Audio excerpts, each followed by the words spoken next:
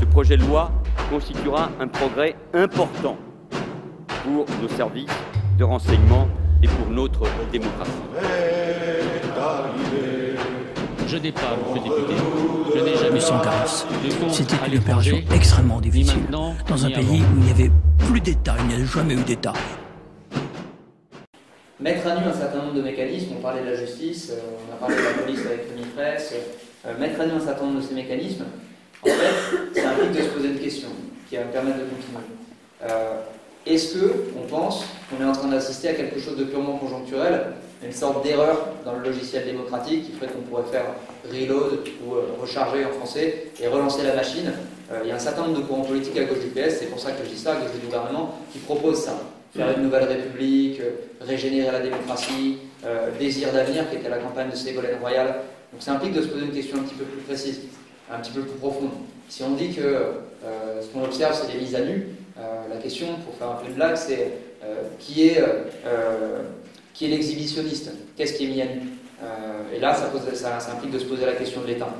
Euh, et je pense que, le, effectivement, c'est un vieux débat, euh, mais c'est un débat dans lequel on est forcé à rentrer, euh, ne serait-ce que pour comprendre honnêtement et jusqu'au bout la séquence qu'on est en train de vivre et, pas, pour ne pas la comprendre superficiellement, juste comme une erreur ou comme un problème qui concernerait ce gouvernement et qui serait fortuit et qui pourrait être résolu par une nouvelle élection dans le cadre de.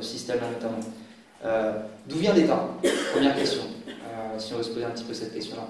Dans la philosophie dominante, l'État, globalement, la réponse est, un peu systématiquement la même, c'est-à-dire l'État, c'est la réponse à la nature humaine.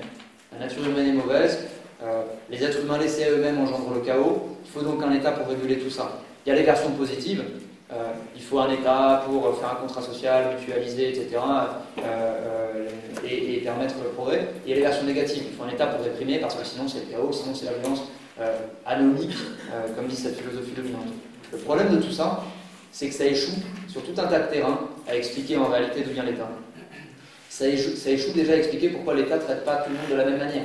Si tous les êtres humains ont la même nature humaine, pourquoi est-ce qu'il y en a euh, qui finissent en prison euh, pour avoir, euh, ne serait-ce que volé quelque chose dans un supermarché, ou aux États-Unis, ne serait-ce que pour avoir la peau noire, puisqu'il y a trois Afro-Américains qui sont tués par jour par la police américaine, et pourquoi d'autres, quand ils sont violeurs en série comme Dominique Strauss-Kahn, sont toujours dehors, voire ont des postes à responsabilité.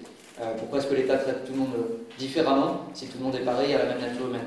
L'autre échec, euh, et je trouve que c'est quasiment drôle, c'est que jamais n'expliquer euh, d'où vient la nature humaine. L'État vient de la nature humaine et d'où vient la nature humaine? La bourgeoisie, c'est une classe qui se pose souvent la question de l'œuf ou la poule, et qui en discute après pendant des décennies et des décennies. Alors, est-ce que c'est l'œuf qui est premier, la poule qui est première, après la poule a grandi, etc. Mais en réalité, on ne sort jamais du même problème.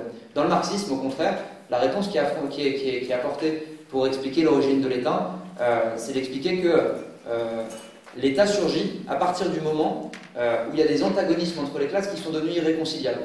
C'est-à-dire, à partir du moment où, euh, entre paysans et seigneurs, il n'y a pas de, conciliation possible sans euh, une puissance qui se place au-dessus euh, de ce conflit-là, alors surgit l'État féodal. À partir du moment entre patron et ouvrier, il n'y a pas de conciliation possible, et c'est le cas, euh, puisque l'intérêt du patron, c'est que l'ouvrier gagne le moins possible, l'intérêt de l'ouvrier, c'est de finir avec son patron. À partir de ce moment-là, eh ben, il faut effectivement un État pour réguler tout ça. Et Engels a une citation, il dit Le besoin s'impose d'un pouvoir qui, placé en apparence, et l'apparence c'est important, ce mot est important, au-dessus de la société, doit estomper le conflit de classe, le maintenir dans les limites de l'ordre. Et l'ordre, Engels l'a mis entre guillemets, parce qu'on comprend bien que c'est un sacré désordre euh, que d'ordonner cette société-là. Et que l'ordre, en l'occurrence, c'est l'ordre des forces de l'ordre, c'est l'ordre de la répression, etc. Euh, à partir de là, en découle tout un tas de caractéristiques qu'on peut retrouver, enfin, qui sont des définitions sur l'État, mais qu'on peut retrouver euh, dans la vie quotidienne et dans la vie actuelle, euh, et qui me semble intéressant de rappeler. Numéro 1, pour Marx et Engels, l'État c'est fondamentalement un détachement d'hommes armés. Qu'est-ce que ça veut dire? L'important c'est détachement, parce qu'homme armé, tout le monde comprend que c'est des gens qui ont des armes. L'important c'est détachement, parce que dans une, dans une société, dans les sociétés d'avant l'État, tout le monde a accès aux armes. Et il n'y a pas de séparation entre ceux qui ont les armes et ceux qui ne les ont pas. La question de l'État, c'est la professionnalisation de ceux qui ont les armes au profit de la régulation, euh, au profit de l'imposition de l'ordre, justement, dont je parlais tout à l'heure. En France, aujourd'hui, il y a 145 000 policiers. Je suis allé vérifier. Faut y ajouter à ça 355 000 militaires. C'est au bas mot parce que ça ne compte pas les réservistes, ça ne compte pas un certain nombre de gens qui euh, sont partiellement euh, militarisés. On arrive à 500 000. C'est le plus gros bataillon fonctionnel. 500 000 membres de ces forces de répression. Ça, ça crée un immense marché. Et récemment, on a appris par la presse que la France était le troisième vendeur d'armes du monde. quand, on vend, quand, quand, on est en compétition avec les États-Unis et avec la Russie, qui a le plus grand stock d'armes à vendre du monde, c'est un sacré résultat d'être troisième. Donc la France est le troisième vendeur d'armes du monde. Et ce marché, on pense beaucoup aux opérations extérieures de la France, que ce soit en Irak, que ce soit en Afghanistan, que ce soit en Centrafrique, où les soldats français ont violé des dizaines d'enfants pendant les précédentes années. Mais on pense peu aussi au marché que représente la répression intérieure.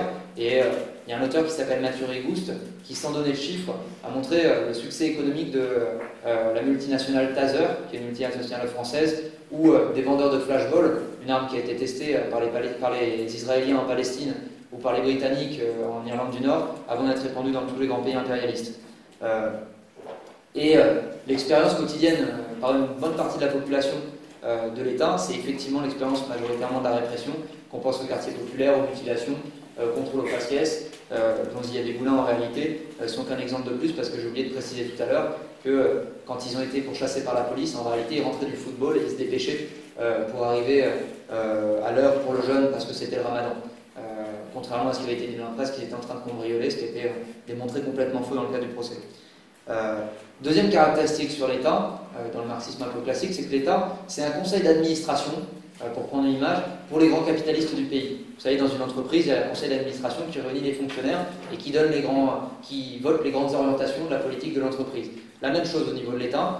Euh, en réalité, pour donner des exemples de ça, il suffit de voir quand il y a eu la crise financière en 2007, par exemple, les centaines de millions d'euros qui ont été donnés à rien des familles comme la famille Peugeot, qui ensuite, par des voies détournées, s'est en partie directement mis dans la poche, en tout cas n'a jamais remboursé. Et grâce à, cet argent-là, c'est pareil pour la Société Générale, euh, dont euh, Jérôme Kerviel, par exemple, qui est soi-disant est accusé d'avoir individuellement fait perdre 5 milliards d'euros à sa banque, ce qui est crédible par personne, est en train de servir en réalité un peu de bouc émissaire pour camoufler la vaste opération qui a servi à recapitaliser la, Société Générale sur base de, fonds publics qui n'ont jamais été remboursés. Bon, l'affaire Cahuzac, au début du mandat de Hollande, c'était aussi un bon exemple. Cahuzac, c'était un ministre qui était par ailleurs chirurgien, qui était par ailleurs franc-maçon, qui était par ailleurs membre du conseil de, euh, défense interallié. Qu'est-ce que c'est que ça en réalité? C'est un conseil de grands patrons qui, s'entraide pour euh, investir. Et c'est quelqu'un qui avait tout un système de blanchiment d'argent sur un compte en Suisse et un autre à Hong et qui était un petit peu la voix au sein du gouvernement de l'industrie pharmaceutique. quelqu'un de très proche des laboratoires Servier, etc. etc. Euh, L'État, enfin, c'est les frontières, c'est un territoire. Je ne vais pas m'étendre très longtemps, je pense que l'actualité suffit.